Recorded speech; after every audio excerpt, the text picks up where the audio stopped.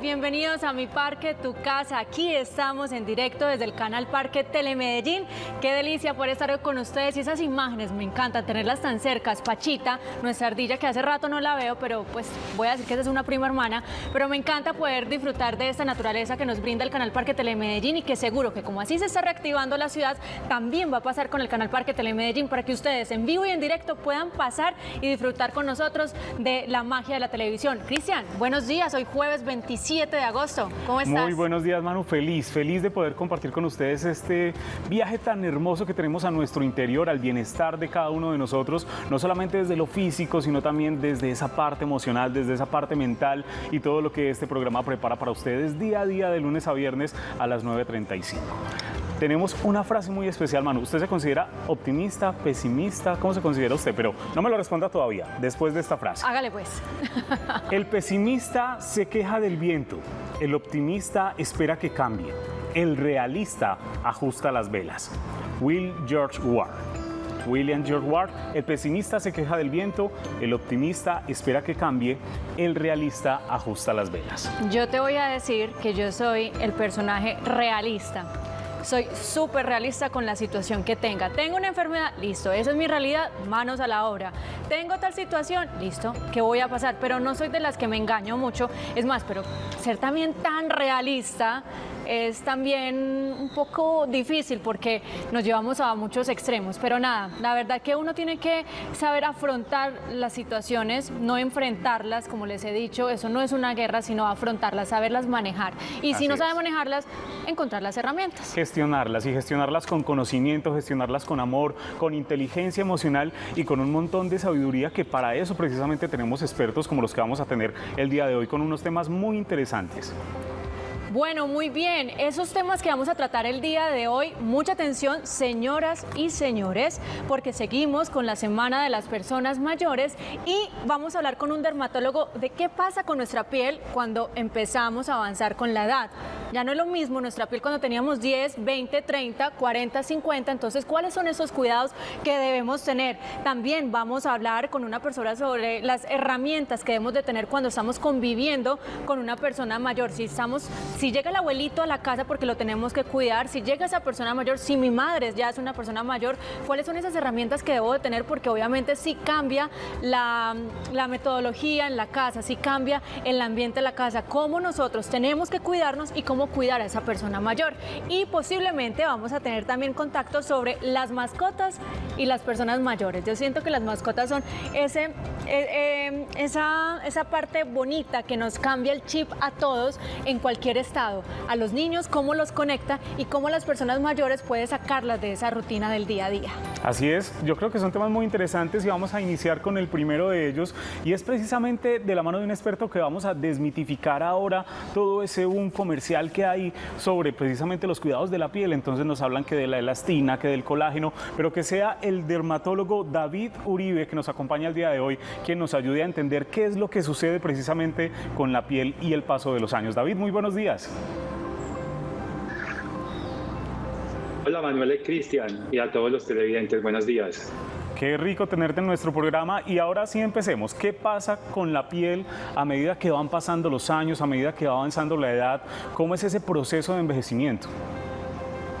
Bueno, yo creo que para poder entender el tema tenemos que entender que la piel se va envejeciendo por dos factores principalmente. ¿sí?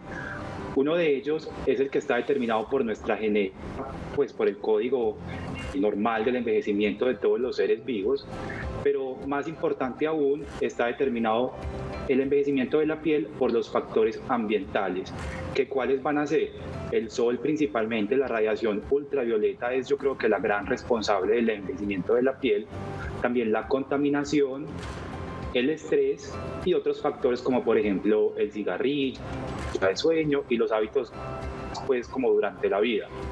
Eso nos va a llevar a que la piel se vaya envejeciendo. ¿Cuáles son esas manifestaciones principales de envejecimiento? Son demasiadas como todo. Principalmente se va perdiendo la elasticidad, la hidratación, cada vez la piel se va haciendo más delgada y más sensible a diferentes factores. Y em, nos van empezando a salir manchas, arrugas finas, cada vez la piel y los vasos sanguíneos quedan como más frágiles, entonces vemos que las personas mayores tienen morados con frecuencia, por ejemplo, en, las, en los brazos, por ejemplo, es muy común. Y también es muy importante tener en cuenta que por todo ese sol hemos acumulado durante toda la vida, ese daño es acumulativo, ¿sí? Desde la infancia todo eso nos va a pasar factura ya en edades más avanzadas. Mm.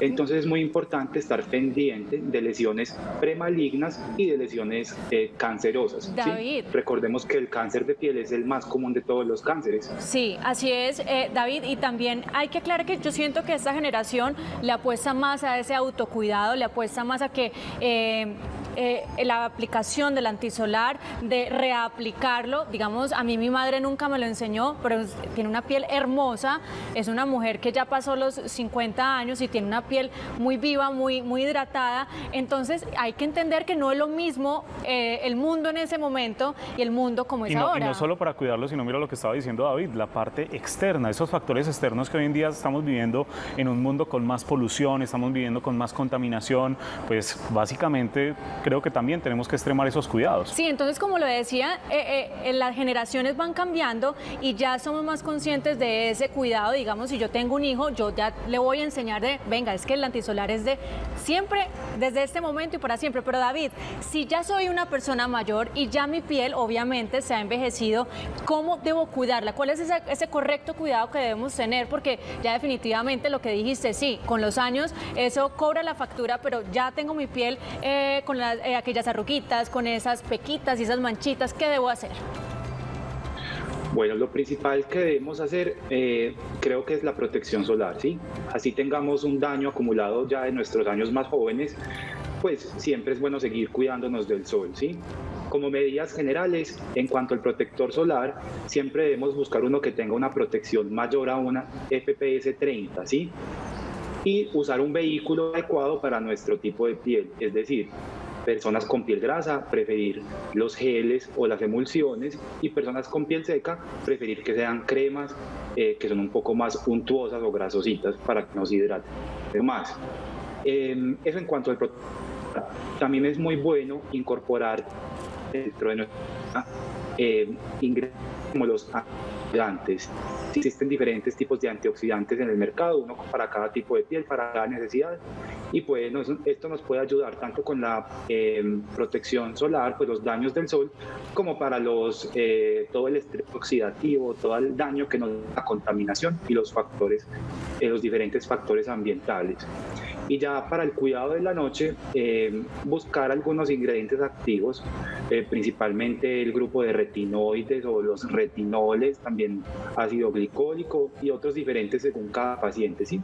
Por eso siempre es bueno estar orientado y tener una rutina según cada necesidad, guiado por un profesional, un dermatólogo. Eh, también es muy importante la hidratación podemos ver que en las personas mayores cada vez la piel se hace más reseca, más difícil de hidratar. Entonces hay que buscar una crema adecuada, eh, realmente sin color, sin olor, que sea emoliente para hidratar tanto en la mañana y en la noche. También es muy importante eh, tener como algunos eh, cambios en nuestros hábitos a la hora del baño. Recordar que las duchas deben ser cortas, con el agua más bien tirando al clima, no tan calientes evitar el uso de esponjas, de estropajos, el jabón, un jabón suave con un pH neutro o incluso un pH ácido, ¿sí? Y usar el jabón principalmente en axilas, genitales, manos y pies, ¿sí? Para que no nos vayamos a resecar más de la cuenta.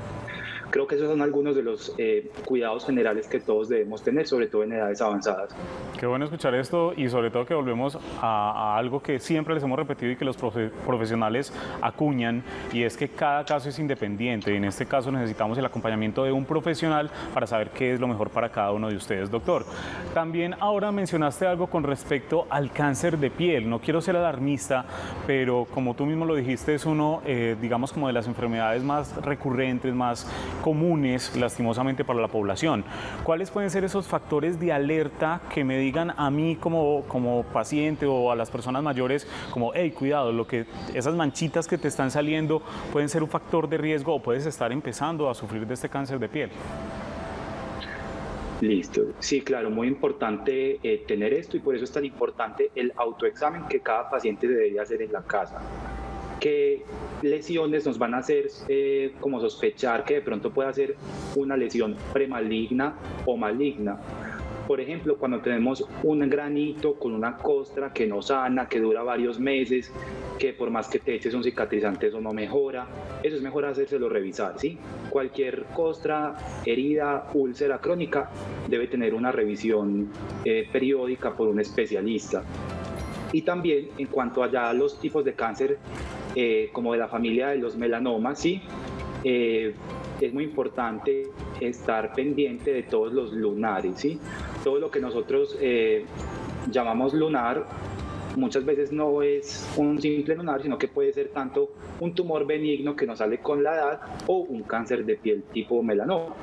Estos los vamos a identificar más como los lunares que van aumentando rápidamente de tamaño, que tienen más de dos o tres colores, que los bordes son muy asimétricos, o sea que tú partes la lesión por la mitad y cada mitad es diferente de la otra, que también sangra y que va creciendo muy rápidamente. Muy bien, eh, doctor David Uribe Zapata, dermatólogo, me gustaría que usted diera ese mensaje final de la recomendación que debemos hacer y en este caso hacerla no solamente para las personas mayores que quizás ahora tienen que tener más cuidado por su piel más sensible, por eh, que ya se, ve un poco más afectada por los años, sino el mensaje para todos, el cuidado que debemos de tener y hacerlo no solamente en el rostro, porque siento que muchas veces nos enfocamos y, decimos el cuidado del, del protector solar solamente en mi cara y ya, sino que, como usted lo decía, hay unos jabones para el resto del cuerpo, eh, estar pendiente de los cambios que presenta la piel. Ese mensaje que le podemos decir a todas las personas para ese autocuidado. Bueno, el mensaje en general, tanto para jóvenes, adultos, para la piel o de cualquier cosa, es ¿sí? Entonces empezar a cuidarnos desde temprano, protector solamente en la cara, sino en todas las áreas expuestas, en cuello, escote, brazos, antebrazos y manos, o en el caso de las mujeres también ocasionalmente las piernas, humectarnos muy bien, estar pendiente de cualquier lunar, cualquier lesión nueva que nos salga, cualquier lesión que no salga, que no, que no sane, perdón. Y eh, yo creo que todas las personas deberían consultar por una vez al año con un dermatólogo. Doctor, muchísimas gracias, muchísimas gracias y yo creo que nos quedamos con estos consejos. ¿Y cuáles son esas redes sociales precisamente para las personas que los quieran contactar, que quieran tener de pronto más información y más de estos consejos? Muchas gracias Manuel y Cristian por la invitación. Mis redes sociales básicamente Instagram, David Dermatólogo, como aparecen ahí en pantalla, una sola D, David Dermatólogo, ahí me pueden encontrar, preguntar cualquier duda y iré poniendo tips y algunas recomendaciones de cuidado general de la piel. Muchas gracias por estar aquí en mi Parque Tu Casa, por aceptar el tema de la virtualidad. Nos quedó muy claro ese autocuidado que debemos de tener, protegernos ante todo. Gracias, doctor David Uribe Zapata. Recordemos la línea telefónica 268-6033 para que ustedes nos llamen y conversemos. Vamos a hacer una pequeña pausa y ya regresamos con más de Mi Parque Tu Casa.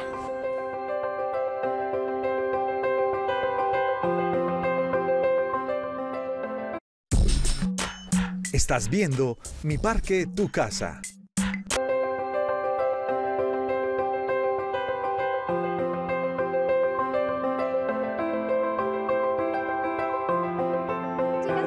Así es, tenemos las mejores recomendaciones aquí en Mi Parque Tu Casa. Y precisamente para hablarnos hoy de Vita Francesa nos acompaña nuevamente Gregorio Sandoval. Bienvenido a Mi Hola, Parque Daniela, Tu Casa. una feliz mañana. Bueno, con un cordial saludo para todos ustedes allá en casa. Vamos a hablar de Vita Francesa. Vamos a hablar del por qué Vita Francesa, por qué este producto se ha convertido en el mejor, o mejor dicho, en el más consumido y más recomendado por todo tipo de persona. Es que Vita Francesa, mucha atención a lo que usted hoy tiene la oportunidad de tener en su casa. Vita Francesa es el producto natural certificado por el INVIMA como un alimento, pero catalogado por nosotros los consumidores como el más efectivo producto natural para recuperar a casos severos de agotamiento, de cansancio físico, cansancio mental.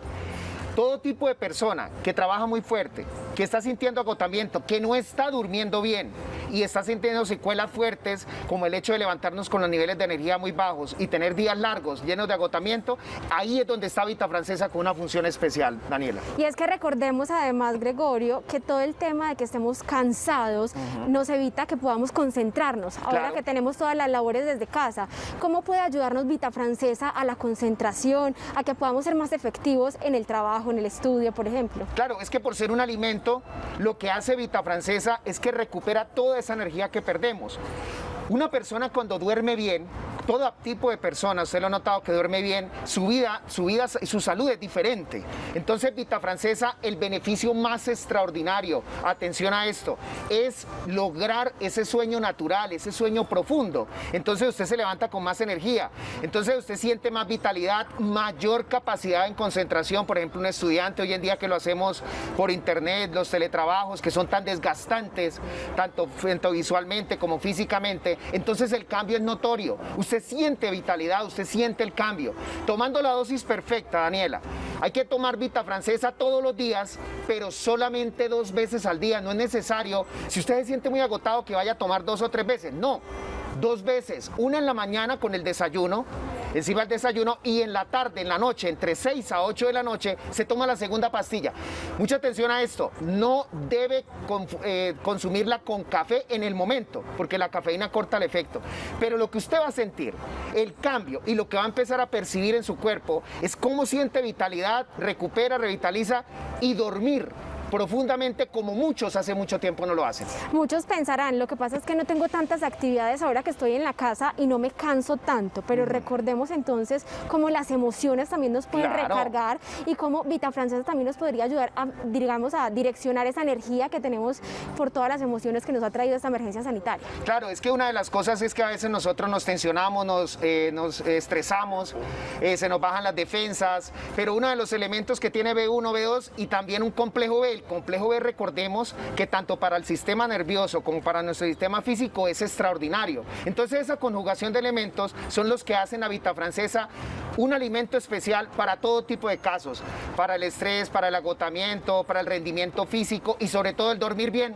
Todo tipo de personas, desde los 5 años en adelante, niños, jóvenes, adultos, personas de tercera edad, consumen dos veces al día y el resultado es único, es increíble.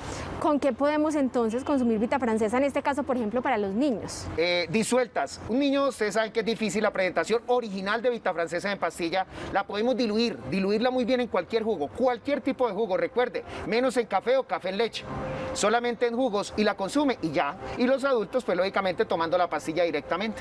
Gregorio, que sea hasta el momento para dar ese dato tan esperado La y es este producto Claro que se que ve que es tan importante y que debemos consumirlo, que además lo podemos consumir todos. ¿Cuál sería ese precio para nuestros televidentes? Bueno, vamos a hablar de la promoción, ya que muchos están viendo el programa, todos los que están ahí dirán, pero yo lo vi en la página de Fénix, me lo recomendaron y el costo veo 4 debe ser muy alto porque cada uno sí, cada frasco, este que tiene 30 pastillas, tiene un valor de 30 mil pesos. Pero hoy el kit es completo, vamos a entregar cuatro tratamientos, cuatro frascos, cada uno con 30 son 120 pastillas en total, por tan solo 49.900 pesitos. Recuerde que la entrega es inmediata. Aquí en Medellín, un domicilio gratis desde Niquí hasta La Estrella.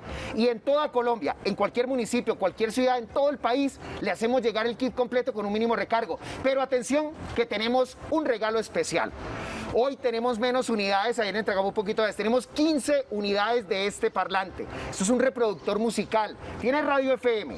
Aparte, usted le puede insertar una memoria micro SD, una USB. Aparte, tiene conectividad de Bluetooth para su equipo, su televisor, su celular para reproducir toda la música que tenga. Alto volumen. Un regalo muy bueno, especial. Gregorio. Y todo por tan solo 49.900 pesitos, marcando ya 609-0110, teléfono en pantalla, y línea celular y WhatsApp 310-513-4100.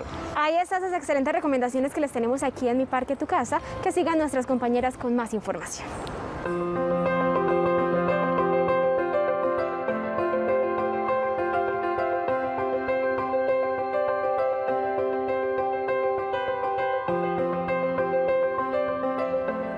Continuamos en Mi Parque, Tu Casa, con más información, información de interés para todos ustedes. Y este, un mensaje, un tema que yo creo que a todos nos va a servir y es esas herramientas que necesitamos para la convivencia con las personas mayores. Vamos a saludar en estos momentos al licenciado en Teología y constelador familiar, Carlos Cerval. Carlos, muy buenos días. Bueno, ¿cómo estás? Feliz, feliz de poder tenerte y yo creo que tenemos que empezar por, eh, digamos, describir cuáles son esas características que hacen diferente la convivencia con una persona mayor. ¿A qué nos estamos enfrentando cuando, no sé, mi papá, mi mamá, mi tía, mi abuela va entrando en esa edad que de pronto requiere unos cuidados especiales, tanto desde lo físico como desde lo emocional?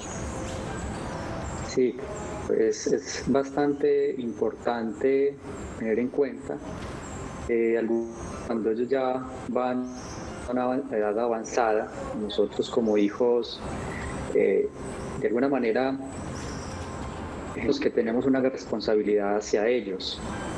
Y, bueno, nos, empuja como a, tener que ayudarles de alguna manera.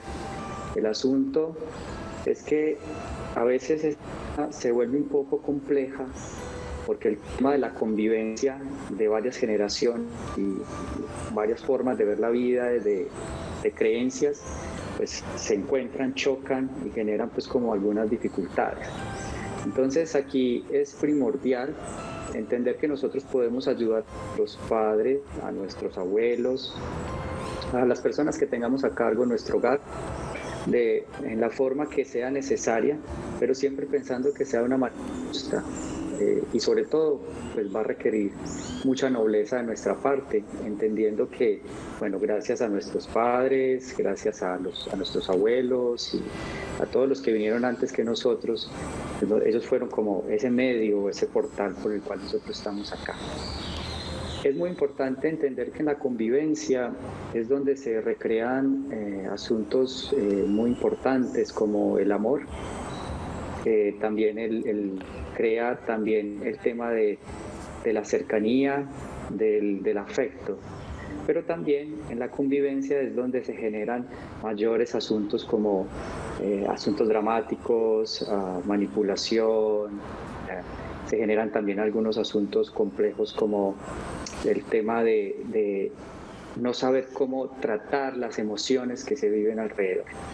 Entonces, hay varios niveles importantes para tener en cuenta cuando nos vamos a relacionar con estas personas mayores. Lo primero,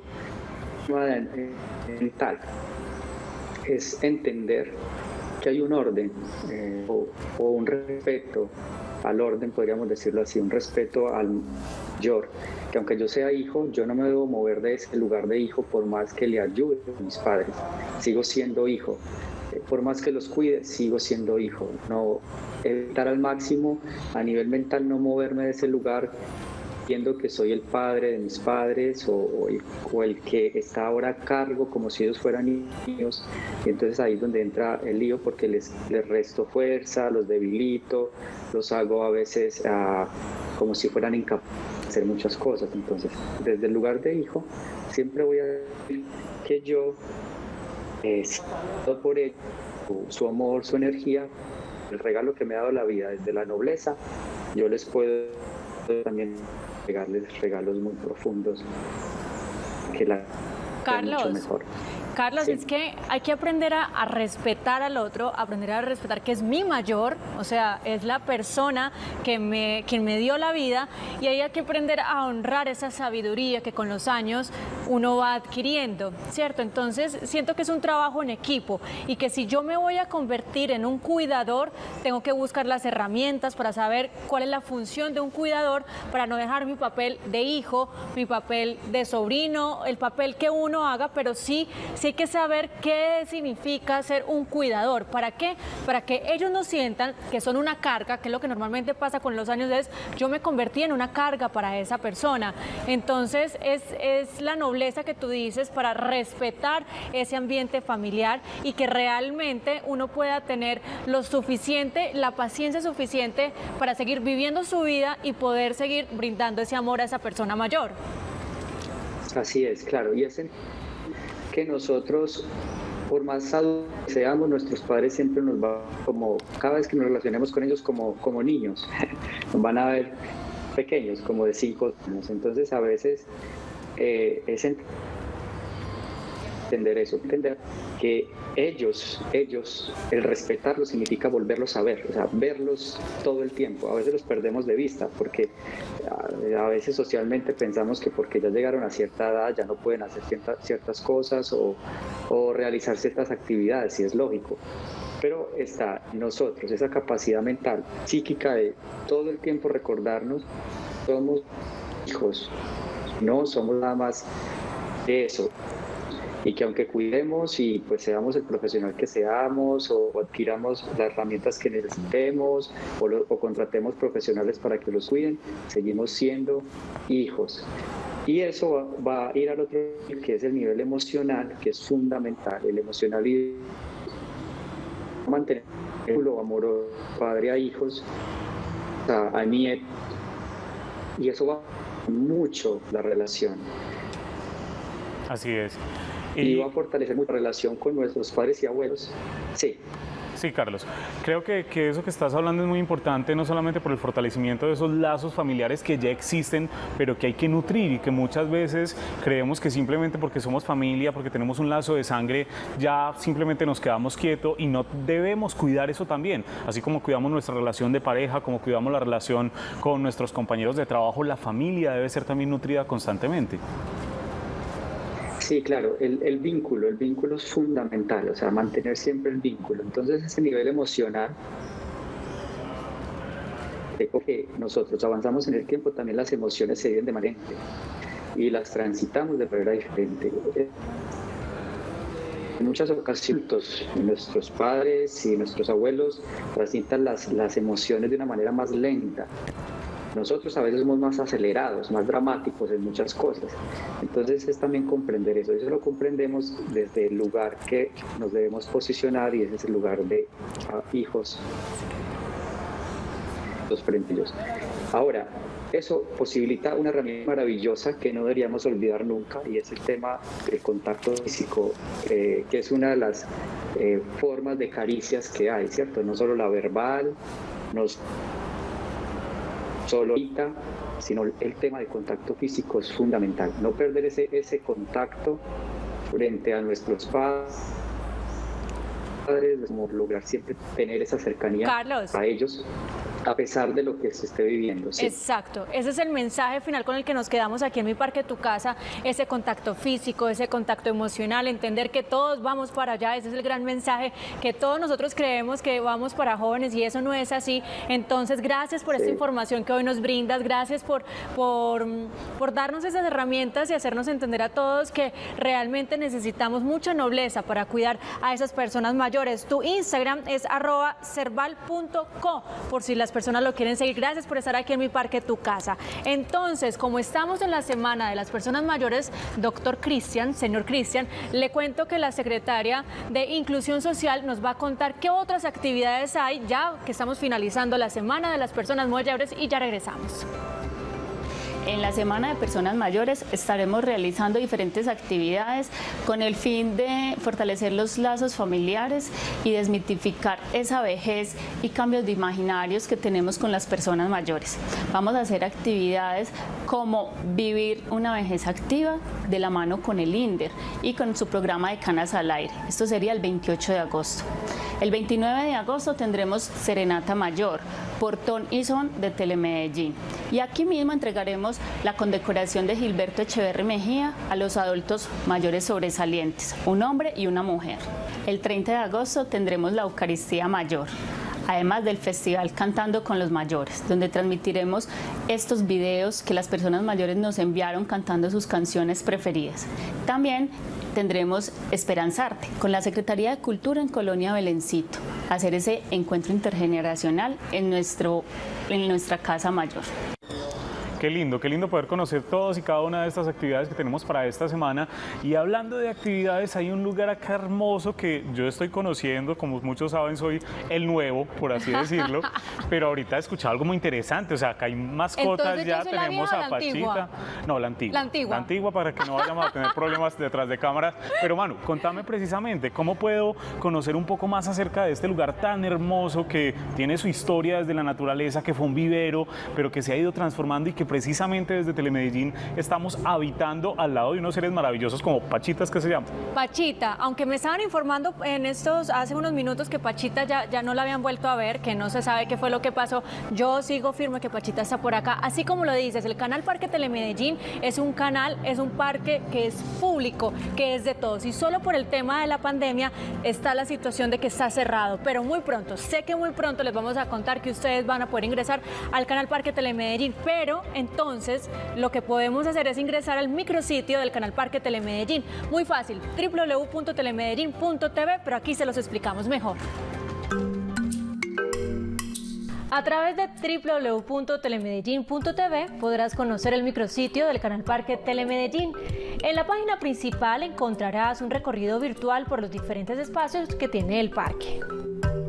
En las pestañas en la parte superior encontrarás la historia del terreno donde hoy es la nueva sede de Telemedellín, la fauna y flora del parque, pues cuenta con cerca de 1.600 árboles agrupados en 170 especies. Además, podrás conocer el 29% de las 200 especies de aves reportadas en el Valle de Aburrá www.telemedellín.tv slash parque. A través de este micrositio podrás conocer uno de los pulmones verdes de la ciudad, el canal Parque Telemedellín. En la página web del canal podrás visitarla cualquier día, pues está disponible las 24 horas.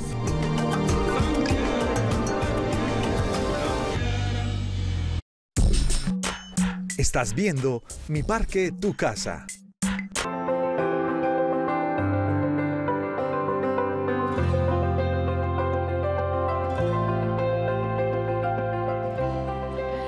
Pachita de mi corazón, cómo me hace falta.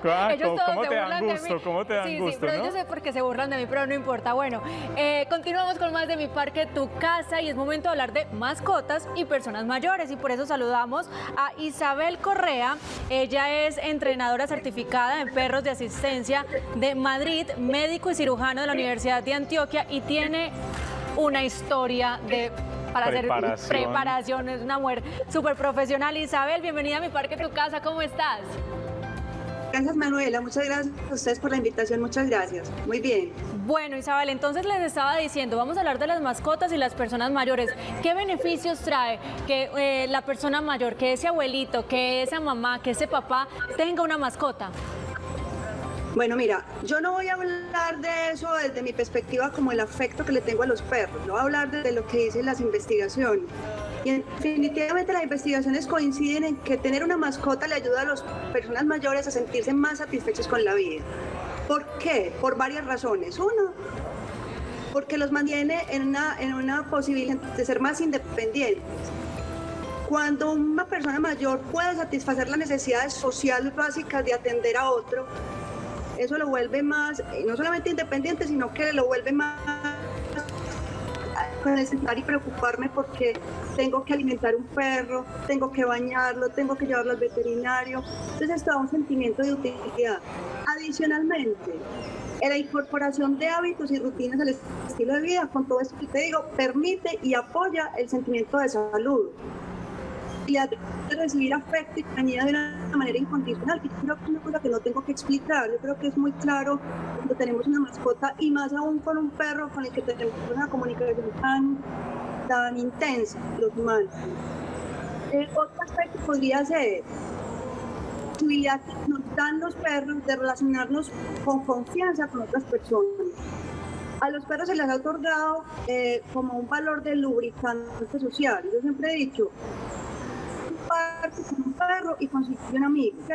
Entonces que le da posibilidad a las personas mayores de no aislarse, sino precisamente eh, poder establecer comunicaciones con otros. Esto los aísla mucho los previene mucho de la depresión tan frecuente en las personas mayores. Eh, otro aspecto, hecho de tener que salir con un perro, salir a pasear, eh, favorece la actividad física en las personas mayores psicológicos pueden ser muchos más, también tienen, eh, facilitan y posibilitan efectos físicos también eh, de la salud de las personas. Se ha visto por estudios como el hecho de tener una mascota disminuye hormonas como el cortisol, que son hormonas de estrés, y esto lleva a disminución de la presión, de la presión arterial, de la frecuencia cardíaca, como además de eso mejora las funciones inmunológicas. ¿Qué quiere decir eso? Que disminuye la susceptibilidad a la presencia de ciertas enfermedades bonito, muy viejo, porque fue, digamos, el primer estudio que salió y publicó en una, una revista científica médica que demostró cómo pacientes con enfermedades cardiovasculares en UCI, aquellos pacientes que tenían mascotas tuvieron de vida mayor a un año que los que tenían mascotas. Entonces, yo aquí me puedo quedar porque los beneficios definitivamente son muy grandes y podrían beneficiarse no solamente, como les dije, físico, psicológico, sino desde el bienestar general de las personas. Qué lindo, qué lindo escuchar eso, Isabel, que también, digamos, las mascotas, los animales de compañía pueden ser eh, ese aliciente, precisamente como tú decías, para retomar esa responsabilidad, porque hay muchas personas que llegan a cierta edad, a cierta etapa de sus vidas donde dicen como, bueno, yo ya soy un inútil o no sirvo para nada, o como hablábamos ahora, sienten que se convierten en una carga, pero una mascota puede ser de nuevo, digamos, ese aliciente para continuar viviendo. Y acá tengo una pregunta también. Yo soy defensor de la adopción y, creo que para mí es la primera opción ir a buscar un animalito que esté, digamos, necesitando ese hogar. Pero en este caso, ¿cuáles serían esas razas o qué características debe tener esa mascota para una persona mayor? Es decir, eh, ¿se recomiendan razas pequeñas o algunos que de pronto no sean como tan, eh, ¿cómo se dice? Tan enérgicos. Tan enérgicos, tan juguetones. ¿Qué, qué raza nos recomiendas o qué características especiales para ellos? A ver, Cristian, tú le estás diciendo muy bien y es, si tú me fueras a decir que yo voy a traerle a mi papá que tiene 86 años un perro, en este momento probablemente no elegiría un cachorro. Un por todo lo que implica el nivel de actividad, y el de compromiso tan intenso que requiere un cachorro. Es necio, un cachorro tiene eh, unos vuelve de actividad que probablemente para una persona mayor sea difícil. Coincidencia con digo, el cuento yo creo que no es la raza, yo creo que yo busco un perro que fuera, ya tuviera un carácter eh, estable. un perro dos años, dos años y medio, donde supiéramos qué tipo de perro, ¿cierto? Entonces ahí con, o con razas o con criollos que se adapten muy cercanamente a esas posibilidades de vida de las personas mayores. Entonces, sí, yo creo que existen razas muy buenas como las que están viendo ahí en, el, en las fotos, los labradores. Nosotros somos criadores y defensores de los labradores con sus características, pero un labrador cachorro enloquece hasta una persona con toda la actitud y la, disponibilidad que nosotros podemos tener que trabajamos con ellos. Entonces, más que todo, es como el carácter que podamos tener eh, eh, para incorporar la vida, en la vida de la persona mayor. Y ahí es donde juegan un papel importante los criaderos, las personas que también, digamos, eh, les enseñan a las mascotas a comportarse. Sí, esos entrenadores que también ayudan a eso. Entonces yo siento que la mascota juega un papel súper importante y, y, además cuando esa persona de pronto tiene algún diagnóstico de alguna enfermedad, también están esos, em, esos, esas mascotas, esos perros que son entrenados para cuidarlos y para ayudarlos. Entonces, que ya son de asistencia. Ya, exacto. Ya son animales de asistencia, sea desde la parte visual o desde otro acompañamiento que pueden brindar. Entonces mira el papel que juega tan importante la mascota en la casa que se vuelve ese compañero fiel que todos sabemos que, que así se relaciona, eh, hablando en este caso del perro, porque digamos los gatos también lo pueden hacer, pero entonces es como ellos también nos sacan de la rutina. El hecho solamente de sacarlos a la calle porque tienen que hacer su actividad, porque tienen que hacer sus necesidades, hacen que esa persona mayor los vuelve activos. Entonces, yo siento, Isabel, que el mensaje acá cuál es para esas personas mayores o a esa familia que seguramente puede cambiarle la rutina a todos, pero cambiársela diferente, porque no hay nada mejor cuando uno llega a la casa y esa energía y ese saludo y eso tan bonito que entrega la mascota. No, yo pensaría que el mensaje es el, la mascota, y en este momento pues, puedo hablar de específicas del perro, es un ser vivo que, eh, tenemos que tener conscientes que merece unas personas que sean responsables y cuidadosas con ellos, ¿cierto? Entonces, para que no existan eh, esas malas incorporaciones, yo creo que tenemos que pensar cuáles son las necesidades, los estilos de vida de esa persona mayor, qué requiere y qué tipo de perro se puede adaptar. Como te digo, hacer un acompañamiento de profesionales y de personas que sepan no solamente del tema, sino también del tema de las personas para poder hacer una incorporación adecuada, que existe ese match que permita que ambos se vean favorecidos en esta relación. Importantes, son básicos. a ver, para nosotros que amamos los perros, yo diría, son fundamentales en las personas mayores y colaboran mucho para su bienestar, pero que tiene que existir un buen asesoramiento eh, de, lado y lado para que definitivamente este beneficio pueda eh, adquirirse como se pretende. Así es, Isabel. Y yo creo que precisamente para esas personas que quedaron antojadas, que quieren conocer más acerca de los beneficios que tienen las mascotas, pueden ingresar a arroba latimosbocalam, arroba latimosbocalam, como van a ver a continuación en pantalla, para que no solamente puedan conversar con Isabel, sino también con todos los expertos que están ahí dispuestos a entregarles más información. Isabel, muchísimas gracias. ¿Sí? Un minuto, arroba latimosbocalam.org. Exacto, ORG al. Ok. Muchas gracias. Lo otro era la página web donde también pueden encontrar toda la información y la otra es la red social de Instagram. Gracias Isabel por estar aquí en mi parque Tu Casa, por hacernos entender que las mascotas sí juegan un papel súper importante en cada hogar. Bueno, finalizamos ya eh, mi parque Tu Casa. Sabemos que esto se va siempre súper volando, pero mañana, señoras, señores, me hacen el favor y se ponen la pinta deportiva. Se ponen los tenis desde temprano, se ponen la pinta deportiva porque mañana todo el programa va a tener actividad física, así que los quiero con su tarrito de agua, con la toallita y con un espacio, no tiene que ser muy grande porque vamos a tener rumbaterapia con el INDER. Rumbaterapia, una forma también de ustedes divertirse desde casa y hacer caso a eso que hemos hablado toda esta semana y es tener una vejez, un envejecimiento activo y saludable. Así que no se desconecten, recuerden el día de mañana, viernes, van a estar acompañados también de Sandra, que va a estar de nuevo por acá. Eh, trayéndoles unas importantes noticias de algunos cambios muy importantes que ven